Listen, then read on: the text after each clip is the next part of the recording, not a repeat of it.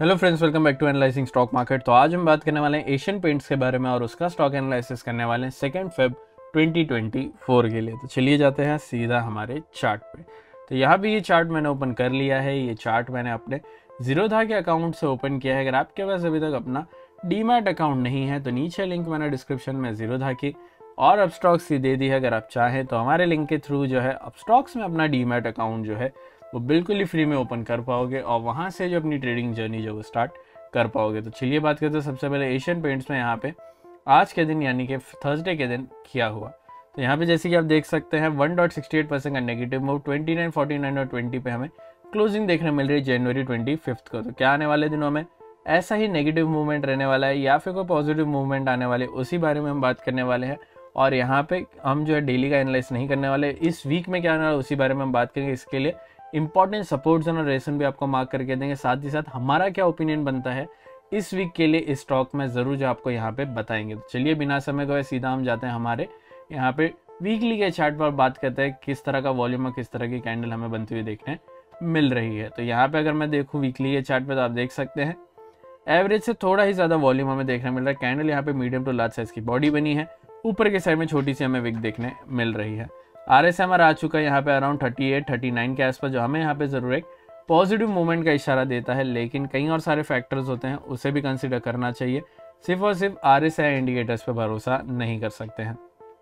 अब रही बात मेरे ओपिनियन की तो मेरा ओपिनियन कहने से पहले यहाँ पे मैं सीधा हम जाते हैं हमारे डेली के चार्ट पे, वहीं पे हमें आपको बताएँगे कि यहाँ पे क्या सपोर्ट जोन और क्या रेसन बनता है मेरा क्या ओपिनियन बनता है, यहीं पे आपको मैं बताऊँगा। तो यहाँ पे जो भी मैं मार्किंग्स कर रहा हूँ, आप भी अपने चार्ट पे कर ले, बाकी इन्वेस्टमेंट रिलेटेड आपको कोई हेल्प चाहिए तो नीचे हमने हमारा व्हाट्सअप नंबर दे दिया, आप ज़रूर हमें कॉन्टैक्ट कर सकते हैं। बाकी अगर आपने अभी तक हमारे चैनल को सब्सक्राइब करके नहीं रखा है तो अभी के अभी हमारे चैनल को सब्सक्राइब कर ले। साथ ही साथ जो है बेल आइकन को दबा के ऑल नोटिफिकेशन जो वो ऑन कर ले, क्योंकि हम जो है आप सभी के लिए एवरी डे फोर स्टॉक से एनालाइज करके लाते हैं, और यहाँ पे नेक्स्ट डे और आने वाले दिनों में जो स्टॉक में क्या देखने मिलने वाला है, पूरा का पूरा यहाँ पे आपको जो है चार्ट के बेसिस पे समझाने की कोशिश करते हैं। तो यहाँ पे अब हमारी मार्किंग जो कंप्लीट हो चुकी है जूम करके मैं बात करता हूँ क्लोजिंग की। तो यहाँ पे जैसे कि आप देख सकते हैं ट्वेंटी नाइन फोर्टी नाइन के आसपास क्लोजिंग हुई है। डायरेक्ट सपोर्ट आता है ट्वेंटी नाइन थर्टी टू का डायरेक्ट रेसन आता है ट्वेंटी नाइन सेवेंटी सिक्स का। तो याद रखना डायरेक्ट सपोर्ट से डायरेक्ट रेसन का जो एरिया होता है, उसे हम कहते हैं नो ट्रेडिंग एरिया इसका मतलब है, इस रेंज में अगर आपको स्टॉक घूमते हुए देखने मिले तो यहाँ पे आपको बिल्कुल भी ट्रेड नहीं करना। आपको वेट करना है दोनों में से किसी भी एक साइड में। स्टॉक हमारा क्रॉस हो और फिर कन्फर्मेशन कैंडल को देखते हुए अपना ट्रेड लेना है। अगर आपको नहीं पता कन्फर्मेशन कैंडल क्या होती है तो आई बटन में मैंने यहाँ पे कॉन्सेप्ट एंड टारगेटिंग स्ट्रेटेजी का जो वीडियो एड किया, उसको आप ज़रूर देख लें, वहाँ पे मैंने आपको हर एक चीज़ समझाई है। अब रही बात मेरे ओपिनियन की तो मेरा ओपिनियन कहने से पहले मैं आपको इंपॉर्टेंट दो सपोर्ट जोन और दो रेसन क्या बनते हैं after direct support and direct resistance वो आपको बता देता हूँ। तो यहाँ पे डायरेक्ट सपोर्ट क्या अगला सपोर्ट आता है ट्वेंटी एट सेवेंटी टू का, उसके बाद क्या ट्वेंटी एट ज़ीरो सिक्स का। डायरेक्ट रेसन के बाद का अगला रेसन आता है थर्टी ट्वेंटी सिक्स का, उसके बाद क्या थर्टी सिक्सटी का।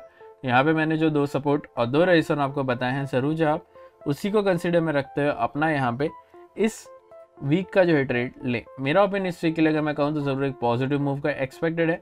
ट्वेंटी नाइन सेवेंटी सिक्स से लेकर थर्टी ट्वेंटी सिक्स के रेंज में हमें क्लोजिंग देखना मिल सकती है। बाकी थोड़ा सा यहाँ पे एक मोमेंटम अभी भी कंटिन्यू रह सकता है। डाउन साइड में फिर उसके बाद ही रिवर्सल आ सकता है। इसके लिए थोड़ा सा डाउन साइड मूव के बाद अप साइड मूव में एक्सपेक्ट करा ओवरऑल इस वीक में पॉजिटिव मूव में एक्सपेक्ट कर रहा हूँ। यहाँ पे अगर वॉल्यूम नहीं बढ़ा तो यहाँ पे फिर नो ट्रेडिंग जोन में क्लोजिंग हो सकती है। बाकी मैं थोड़ा सा इंक्लाइन इस रेंज में हूँ। बाकी आपको क्या लगता है, क्या हो सकता है, वो आप ज़रूर हमें कमेंट करके बताना।